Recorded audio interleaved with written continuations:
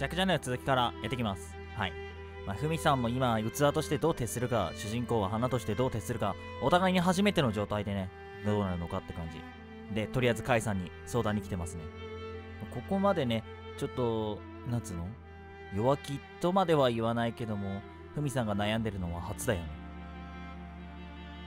あいたふみか大館山で精神統一かお前らしいね。悪いな。邪魔して。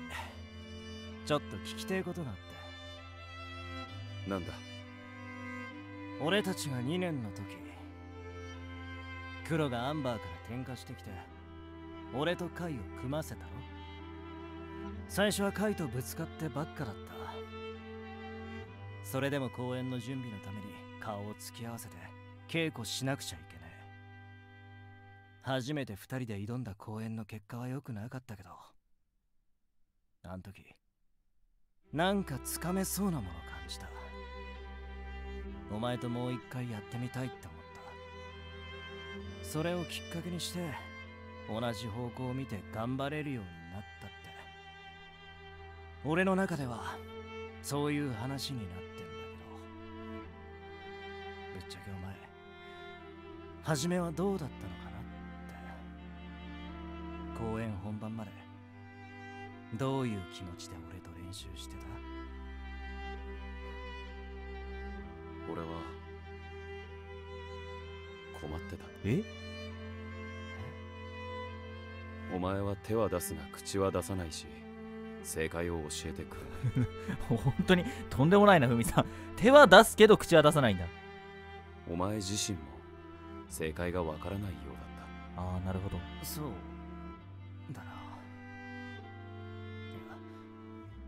悪かった。本た責めてはい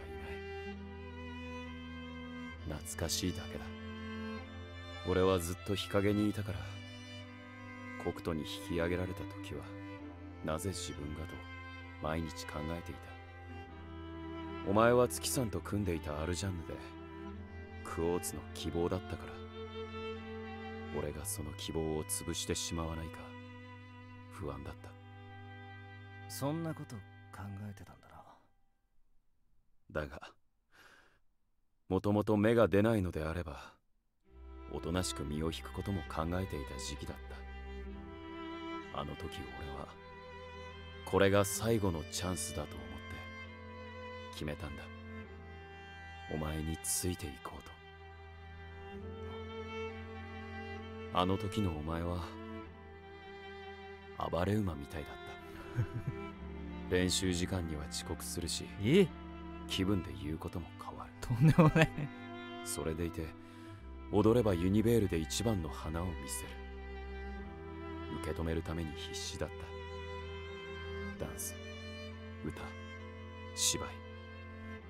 何をどれだけやっても足りなかった。だから正直立ち止まってものを考える余裕なんてなかったついていこうと思っていたらここまで来ただけだ。カイ。ここで考え事をしていた。考え事？どんな？役について。レビーは座長として王国キルツェをまとめる役だ。レビーになって団員の一人一人に思いを巡らせていたんだ。折巻演じるチャンスは魅力のある演者だ。力強いいでたちよく通る声。まっすぐで気持ちのいい心根。まさにキルツェのスター。これからのキルツェを背負っていくやつだ。夜長のイザクは頭のいいやつだ。記憶能力に優れていてそれを瞬時に引き出し芝居に落とし込む器用さもある。いつかその可能性を広げさまざまな方面で活躍することができるかもしれないな。よく見てくれてんな。美月ファン・カルロはああ見えてしっかり周りに気を配っている。責任感が強くて自分のことにも周りのことにも真剣に向き合ってる。だからこそ普段は面倒事を抱え込まないように予防線を張っているがその覚悟ができた時思いもよらない底力を発揮できる奴がファン・カルロだ。劇作家クローリーはそのまま黒土だ。頭の中はいつでもあいつが心から楽しめるもので溢れている。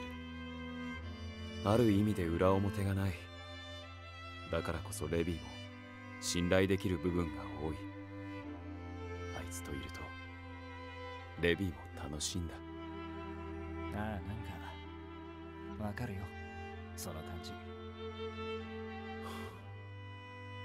アドラはレビーにとっては憧れなんだと思憧れ？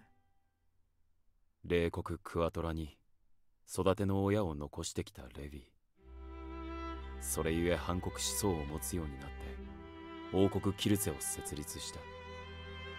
座長としてキルツェの中心人物ではある。だが光を浴びるのはアドラだ。キルツェがアルバイン小国で人気を博すようになったのはアドラの貢献が大きかったんだと思う。自分にはできないことをこなしてしまうアドラが眩しくて。仕方ない時もある。でもレビーにとってきっと誇りでもあるんだ。王国キルツェにアドラという男がいることが。カイそしてシシア新たなメンバーで王国キルゼの歯車となる存在。シシアが入団したことでキルゼには新しい風が吹き始める。その風はやがて国全体を巻き込む大きなうねりとなる。シシアにはそれだけの力があるとレビも感じているだろう。しかし同時にシシアの心に何か引っかかる部分があることも感じ取っている。敗戦国出身という秘密を隠しキルゼに入団したせいか時折表情に影が差す時があるんだ。その影に悲しい懐かしさを感じている。優しく触れたくなる一輪の花だ。だがレビーはその花に触れられない。それはアドラの役目だからな。シシアは大事なキルゼのメンバーだ。レビーは少し遠くから見守っている。シシアならやれると信じてな。立花のことで悩んでいるんだろフミ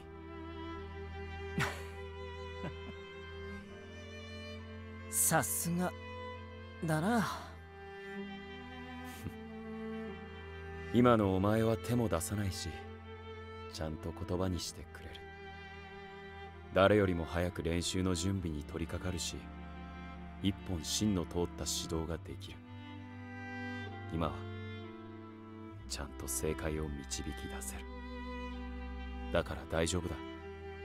お前たちならこれ以上言葉は必要か？いや大丈夫すげえ考えてくれてたんだな。2年生のあの時お前についていくと決めた。お前の背中ばかり見て走っていた。だがようやく自分の力で歩けるようになってそのおかげで見えるようになったことがある。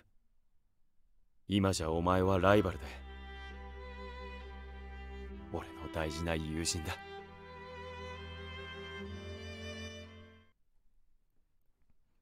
マジこの甲斐さんの言葉をさ鈴とか宗師とかさ美月先輩に聞かせてやりたかったよな。絶対喜ぶじゃんね。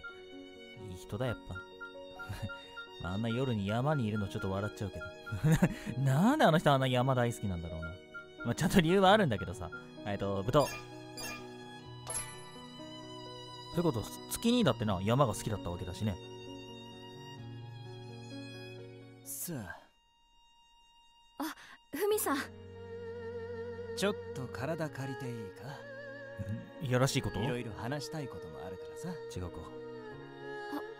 はい。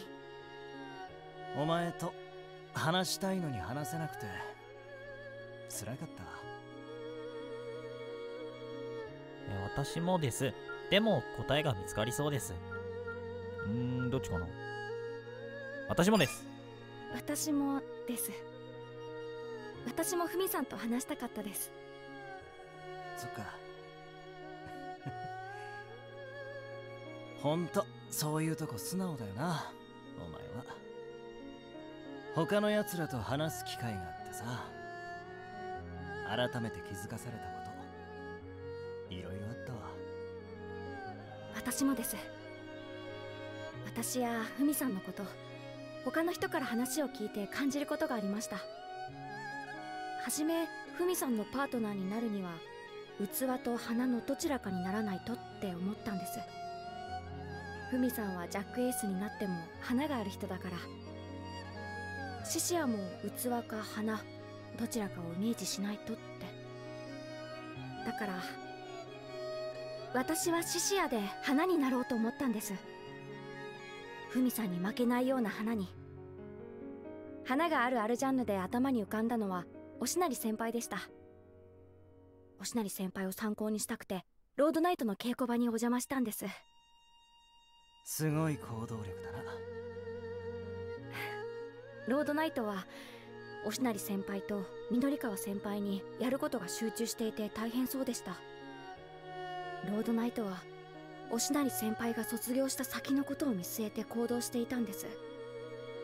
花としての答えはそこでは見つからなかったけどクォーツの先輩たちが私にアルジャンヌとして集中できる環境を用意してくれたこと。その思いを無駄にしたくないと思いました。理想のシシアは見つからなかったけど私自身が花としてアルジャンヌを全うする勇気をもらえたんです。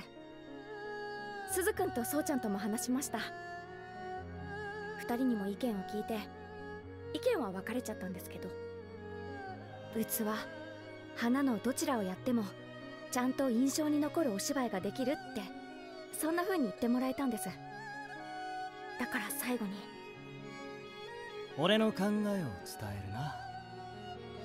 ずっとお前のこと考えてた。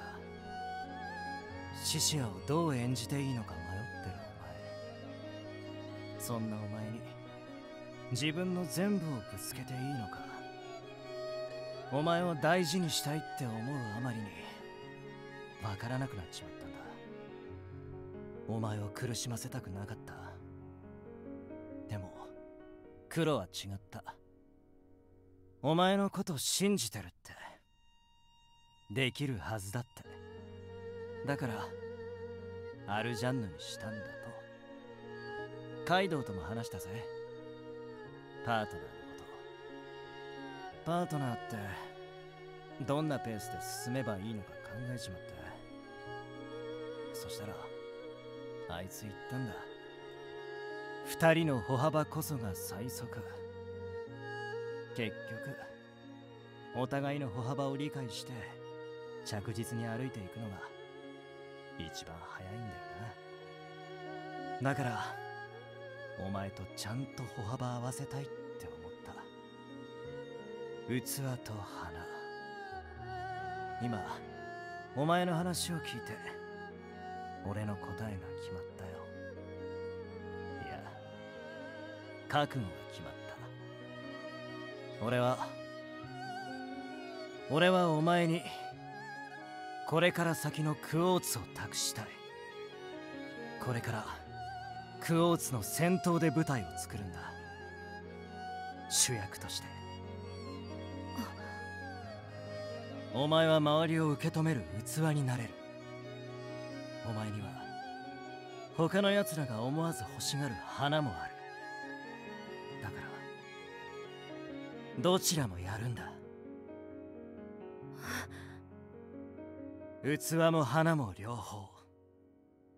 いつか言ったな。俺が持ってるもん。全部お前にくれてやるって。俺の花を。全部お前にやる。お前の器を俺の花で満たしてくれ。私がふみさんの花を。本番までにアルジャンヌとしての動きを全部叩き込む。そしてアルジャンヌとして輝きながら俺という花を受け止めてほしい。俺の花を持ったお前なら俺の隣でも引けを取らない。いや俺のことも超えていける。俺はお前にそうなってほしいんだ。私がふみさんを超える。そんなこと。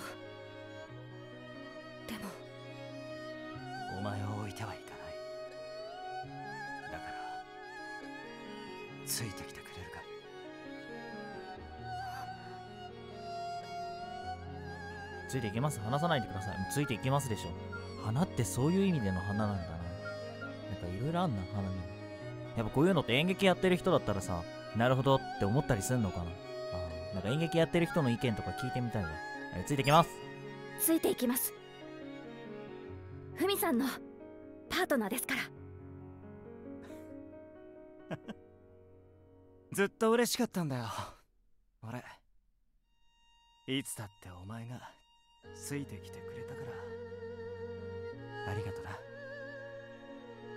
俺のアルジャンヌこんな愛おしそうに言われたの初めてだわ。よっぽど嬉しかったんだね。あバレンタインが迫ってる。チョコあげなきゃ。あ、一回寝ような。なんか、久々にイオンいるんだけど。なんか久々に見たわ。ふみさんじゃないからね、あれ。イオンだから。間違えちゃいけないよ。似ているようで似てないから。全く似てないから。お出かけ。あ、ふみさん。ほら、これ。ややこしいよ、これ。なんか、同じ肌が白くて、金髪で、ちょっとぽっちゃりしてるから、僕ちょっと騙されそうだけど。前に行こうか、ふみさんに。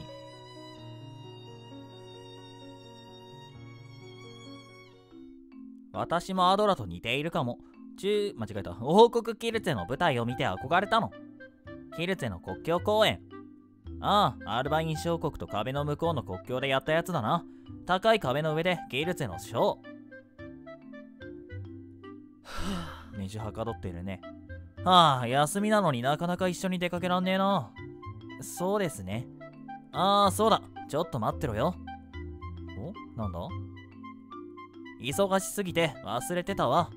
ほら、和菓子。おおどれでも好きなの食っていいぞ。いいね、和菓子はね、スイーツの中でも太りにくいからね。ああ、美味しそう。兄貴から、じ、陣中見舞いでいいのこれ？見舞いってやつ？ありがとうございます。いただきます。美味しい。ん？ふみさん、食べないんですか？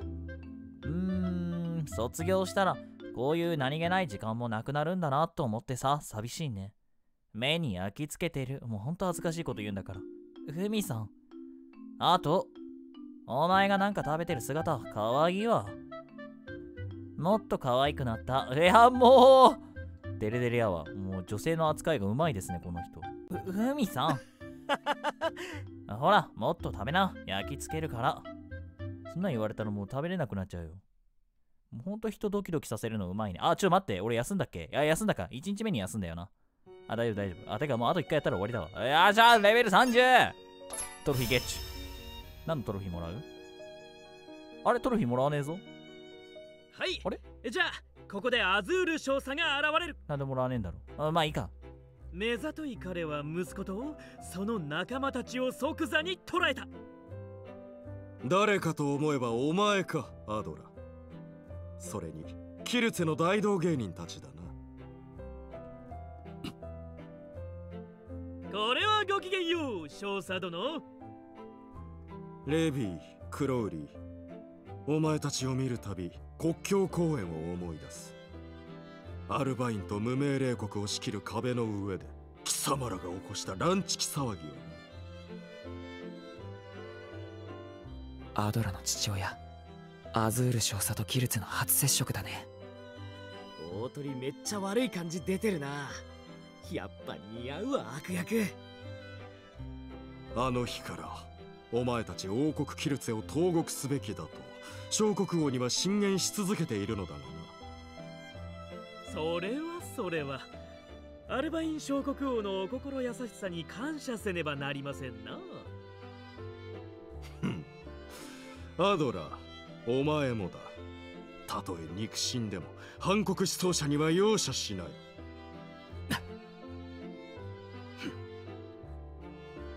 すごい父と息子の睨み合いだ。やばいな。大鳥も頑張ってたもんな練習。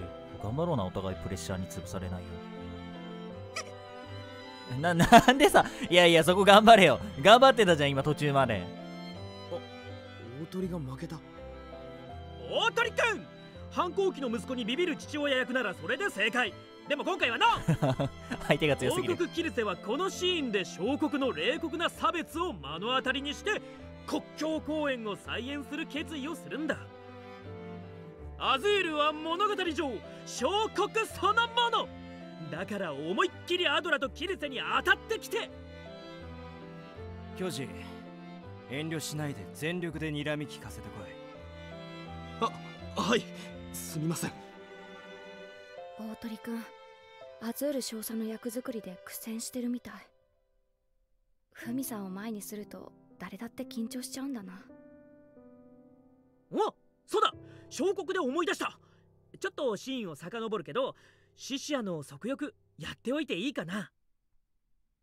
シシアがクワトラからの脱国者だとわかる。重要なシーンか。ここでシシアのすねのクワトラル。冷国民の証である入れ墨が披露されるんですね。そう。馬脚を示す馬の入れ墨さそれではキリセの稽古後実質に戻ったシシア。足浴しなきゃ。足湯で足を流すと左すねに塗った湯化粧が水に落ちてクアトラルがあらわになるんだ。は あ私の足湯化粧で隠した馬みたいな入れ墨。クアトラ人。冷国民の印。クアトラル。国境公園に出たい。そのためなら。なんか気持ちよさそうだな。温かいお湯に足つけて。う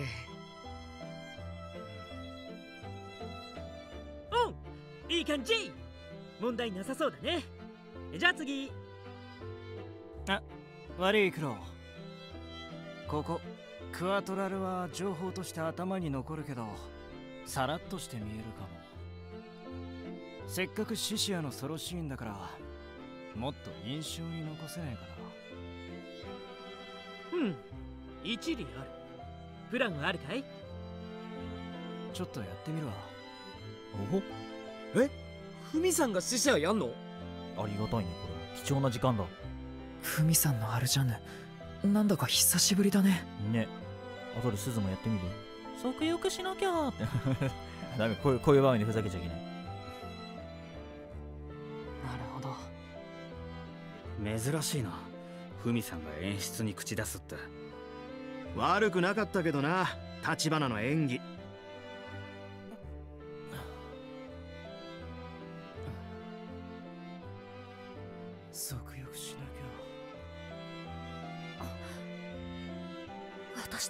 然違う。直前の練習の疲れがどこに残ってるか一瞬で伝わってくる演技だ。疲れが残った左足。そこをじっくり丁寧に洗い流していけば。私の足湯化粧で隠した馬みたいな入れ墨。クアトラ人。冷国民の印。クアトラル。シシアの足に刻まれた。クアトラルが姿を見せる。ほう。クアトラルだけでなくキャンパスである足も浮き上がった。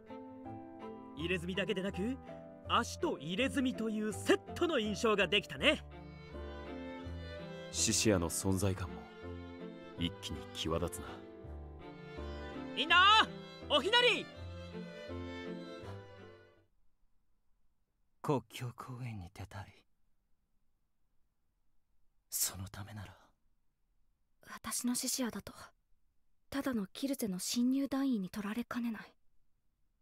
でもフミさんの獅子屋なら物語の中心が彼女だってことがこのシーンだけでも印象づきそう。すごい。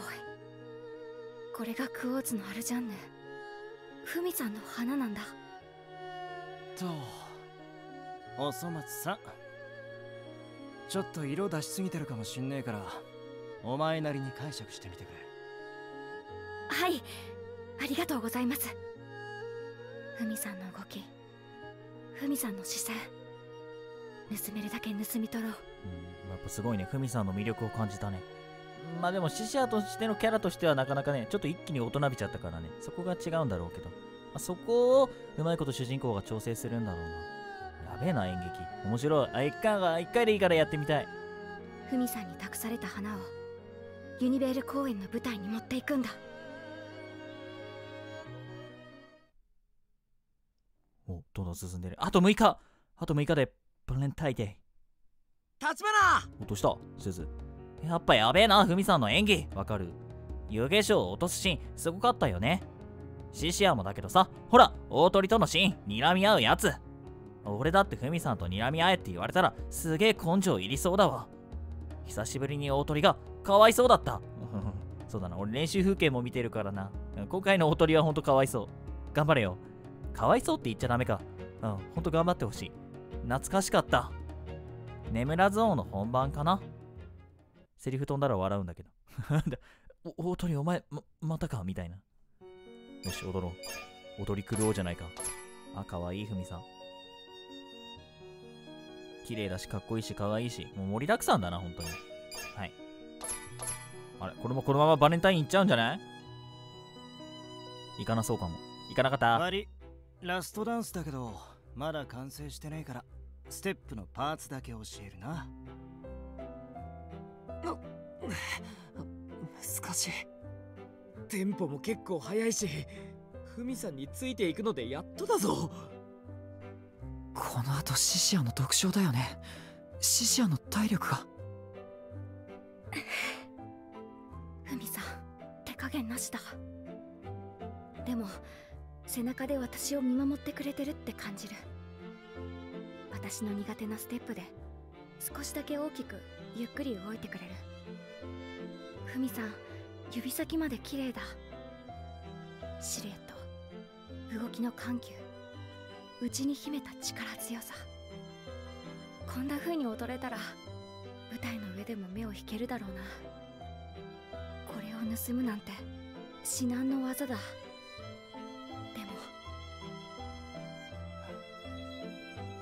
ついてこれるかって聞こえる。ついていきます。私はあなたのアルジャンヌだから。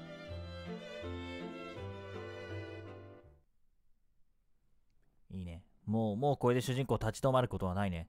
まあ、この状態の主人公をね、アンバーにぜひ見せてやりたいんだけども。もう、奴ら心折れるべ。折れないか。またなんか暴言吐き残していって、立ち向かってくんだろうな。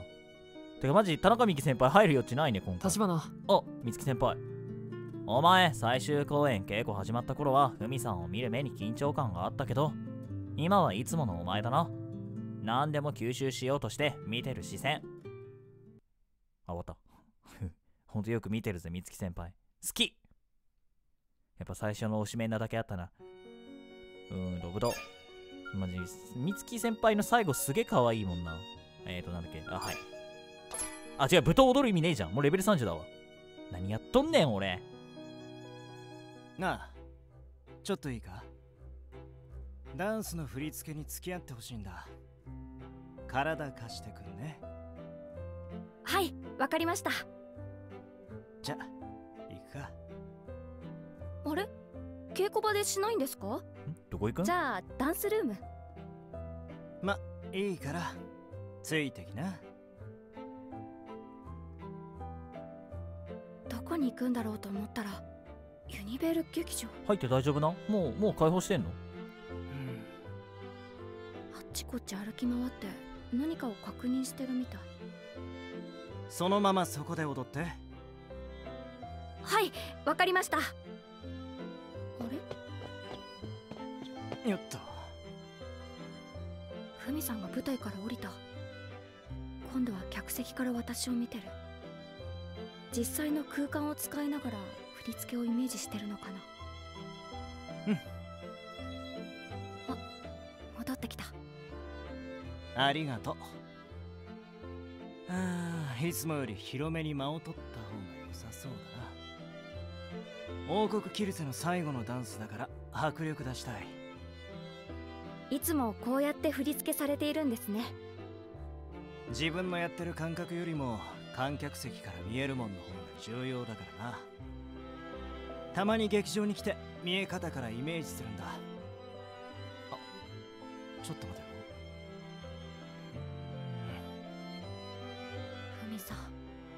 すごく真剣だ。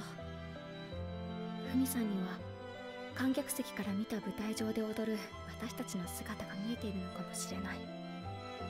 それって幼少期から培ってきたものなのかな？それとも昔から勘の鋭い子だったのかな？うんこんなもんか。ラストダンスの振り付け早く完成させねえとな。ダンス難しいけどやりがいがありそうですね。王国キリツェの最後のダンスだからな。はあやることだらけだ。アドラも作り込みが足りてねえし。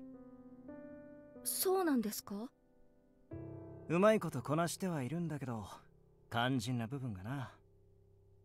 自分に近い分つかみにくい部分もあって芝居が薄くなる時があんだよもうちょっと自分らしさっつうか人間味みたいなのが出せたらいいんだけど。そういえば白田先輩もフミさんがアドラを迷ってるみたいだって言ってたの。フミさんも迷うことがあるんだ。何か手伝えることがあれば言ってくださいね。急にどうした？でも助かるよそうだ。せっかく広い舞台があるしもう少し稽古しとくか。教えたいこと山ほどあるんだ。はい。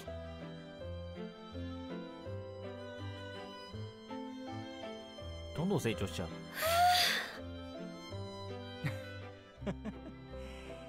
お疲れさん。ふみさん息一つ上がってない。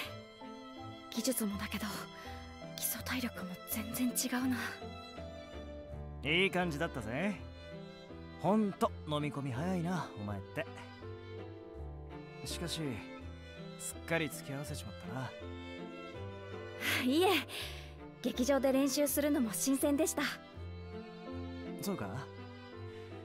こういうことでも楽しんでくれるからお前といると飽きないよ。俺のことお前にもっと伝えておきたいから些細なことでも見てもらいたくて。もちろん時間もらった分稽古の特別コーチしてやるから。そこんとこは勘弁な。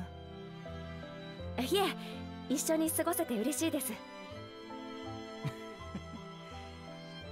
俺も一緒。あ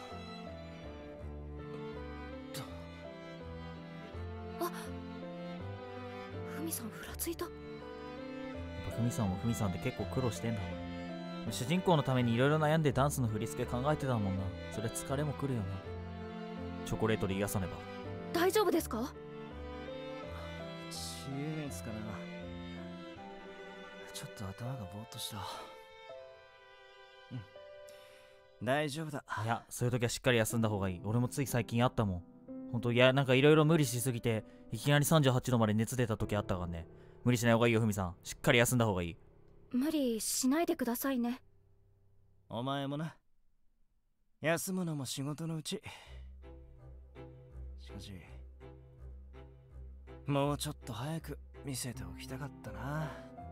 いろんなこと。振り作れる人間がいなくなっからさ。卒業したら。そうそういう時どうするんだろう。先生に教えてもらうんかねそう思うとオニキス強いよね。当たるとかさそれこそダンスの専門が多いもんな。そうですね。ミツは組長としての仕事。それから歌に専念するだろう。残ったクォーツで一番踊れそうなのはスーかこの1年の経験値からしてお前がふさわしいかな。私がふみさんの代わりに？ちゃんと俺を盗めばできる。それでもちゃんとできるようになるまでそれなりに時間はかかるだろうけどな。俺がいなくなった後もやっていけるよ。先輩たちふみさんも卒業しちゃうんだな。本当に仕方ないことだし分かってはいるんだけど。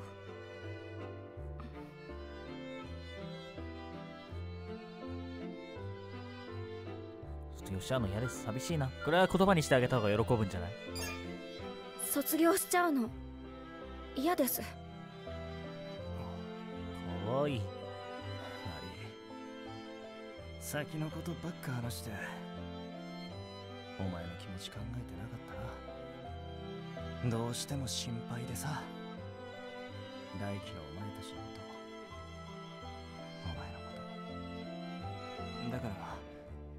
つい卒業後の話しちまった。卒業しないでください。抱きしめる。うわもうな なんだこれ。出れてるね。バレンタイン前なのに激しいね。どうしようか。抱きしめる？卒業しないでください？卒業しないでくださいはちょっとな。留年しちゃうしな。せっかく せっかくね玉坂座にもこうなんつうの引き抜きではないか。おっちおいでって言われてるんだしまあここは無言で抱きしめよう。抱きしめるなのか抱きつくなのかってところだよな。おい。俺も寂しいよ。ほんとでもこっから先も一緒にいられるって思ってるから。ユニベールにいる間も。その先もさ。だから大丈夫だよ。置いてかねえから。お前が好きなんだ。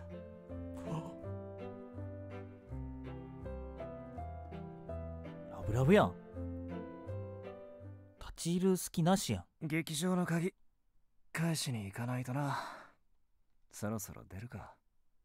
ははい。なんだこの感じ。あすかあの安定してる間に何かあったのか。お何があったんだ。おいおいおいかり日も暮れてきたな。そういえばふみさんってどんなお子さんだったんですか？ん？俺のガキん時どんなだったかな？今とあんま変わんなかったと思うぜ。やっぱりそうなんですね。舞台をイメージしている姿を見ていてふと思ったんです客観的にものを見る目は昔から培われてきたのかなって。ああ言われてみればそうかも。しょっちゅう鏡で自分と向き合うしビデオで舞踊の動き見返したりもしてたからな。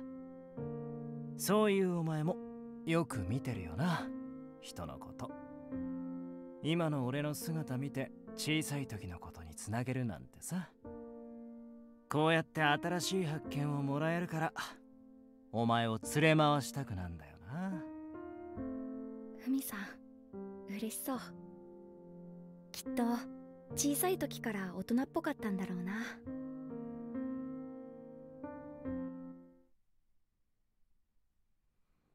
なんかさらっと終わったけど絶対なんかあったよね。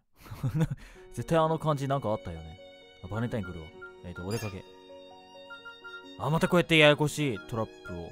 またややこしくないか。お玉坂座駅に校長先生がいる。ちょっと会いに行ってみる？あ待てよ。一応ふみさんの好感度チェックしとけばよかった。ちょちょ、ま、待って。い一回一回校長先生に会いに来たけどチェックさせて。上がって。るあ、あ、問題ないね、もう。もうよかったよかった。明日バレンタインだしな。卒業したら、ふみさんはこの場所に立つのか。お？えおお、どうしたんだ？こんなところで。あ、ちゅ、ちゅうりさんだっけ？あ、校長先生。最終公演の稽古はどうだ？高階がシャックエースで踊るらしいじゃねえか。そうだよ。はい、すごくかっこいいです。高階は家のことも折り合いつけられたみたいだな。そうだよ。俺が協力した。家に反発するみたいにここに入ってきたのは知ってたし、あ、そうなのね。その気持ち 噛んだその気持ち俺も中座だわからんでもないあ同じように名を継いできたってだけあことだしな。でも校長先生もねふみさんと同じような思考思考回路であのいつまでもユニベールを同じままじゃダメだみたいな。でもさあいつの踊ってる姿を見たら家の前が嫌いなわけじゃねえことはわかるからさ。いい形で向き合えてよかったよ。これなら最終公演も期待できるな。今回の公演結果はお前の将来にも関わる。頑張れよ。いいね。頑張っちゃうよきっと。きっとつが絶対頑張るわ。あー来た運命の日。もう十分イチャついたでしょ。あ。は あよっこいしょ。どうした？チョコレートいっぱいもらってきた？あマレちゃんたちだ。たくさん荷物持ってる。どうしたの？だって今日はねえ。バレンタインデーじゃんせっかくの日に何もしないのもったいないでしょ？だから今からみんなでチョコ作るの。あ作る側？まあまあそうだよな。女の子だもんな。うん間違えたわ。バレンタインデーか。誰にあげるの？みのりかわ先輩とか？みのりかわ先輩なんかにあげたら遊んでないで稽古しろって怒られちゃうでしょ？うちらで交換したりあとはイケてる先輩ジャックにプレゼントしたり。ジャンヌは女子力磨いてなんぼだから。これもらった人どんな気持ちなんだろうな。あありがとうって最初は言うんだけど。あれ？男だよなってなるよね。人気があるユニベール生はファンの人から大量にチョコもらうからそこそこの人が狙い目。お兄ちゃんの入れ知恵。失礼だな。そういうこと言うんじゃないよ。あんたももし作るんだったら手作りに役立つショップ教えるよ。バレンタインフェアでおしゃれチョコ売ってたお店もあありがとう。いろいろチョコレートのお店教えてもらったな。バレンタインチョコレートか。楽しそうだったなマレちゃんたち。ふみさん甘いもの平気だったよね。でもファンの人からたくさんもらってそうだなふみさん。私がチョコレートをあげたらふみさんいや喜ぶよ。喜びは絶対するよ。喜んでくれるかな迷惑かな。喜んでくれるよ。どどうしよう。上か。喜んでくれるかな。疲れてる体にいいかもしれないし。ふみさんは私のこと好きって言ってくれてるから。大丈夫だよね。自分で言っちゃったよ。なるほど。暴走してるね。あげてみようかな。チョコレート。うん。そうしようだったら。それはもう手作りでしょ。手作りしてみよう。喜んでもらえるかな。初お部屋じゃん。うわ風流。どうした？ふみさん渡したいものが。ん？あのこれ。このちょっと分かってるくせになんかもうこのちょっと意地悪なのがいいよね表情。しゃれてる。あれ？分かってなかったの？本当に素で忘れてたの？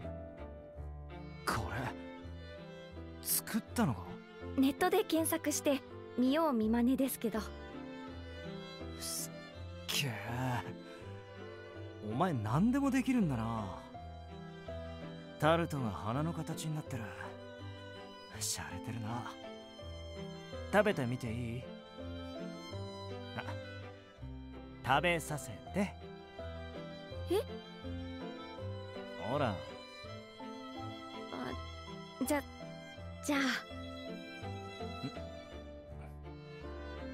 うまい。美味しそうに食べてる。喜んでもらえてよかった。喜んでいただけてよかったですふみさんファンの人たちからチョコレートもらうでしょうからあげていいのか心配で。ああ今年も来てるかも。さすがに部屋に置いておけないから職員室で預かってもらってんだ。この時期になるとユニベール生たちのもらいもん用の部屋にチョコレートがぎっしりあるぜ。お前にも来てるんじゃないかな。えそうなんでしょうか？新人公演であれじゃんのやってその後も活躍してんだから間違いねえだろ。そうなんだ。なあ。え？あ抱き寄せられた。ふみさんの体熱い。周りを気にして遠慮する必要なんてないからお前からもらえるならなんだって特別だから気にしないで俺にちょうだい。ははい。チョコもらったからかな。なんか熱っぽいかも俺。病っちゃ病か。すっかり患っちまってんだろうな結構浮かれてる。こういう煩いだろ。うか。やっぱユニベル劇場でなんかあったよなこれ。なんかだいぶかなり2人とも積極的になってるんだけど。もうちょっと。このままでいい。この2人止めらんねえよ。はい。ということで今回はここまでとさせていただきますふみさんが強すぎてマジ何回も言うけど田中美希先輩が立ち入る隙一切ないね今回は。はい、えー、それではシアンでした。またね。